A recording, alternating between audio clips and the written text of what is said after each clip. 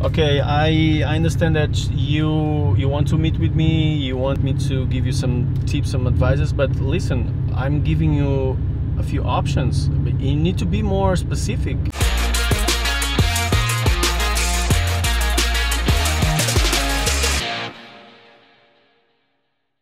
And most of people and you guys, you don't accomplish things because you are not specific. Okay, you you you fool around, guys. Why why I accomplish more in the day, guys? Because I'm specific. I go there right now. Doof, I doof, doof. Next, next, next, next. But meanwhile, you guys are just like I don't know. I need to check. I need to see. I need to. What the hell you guys doing, man? Are you dumb? What what what's your age, man? You need to become more uh, adult in taking decisions. Just go. Oh, I don't know. I need to just take a shower, dress yourself, and just go. Yeah, I'm saying I'm saying this all the time, all the time, all the time. Take take that fast decisions. Oh, I don't know.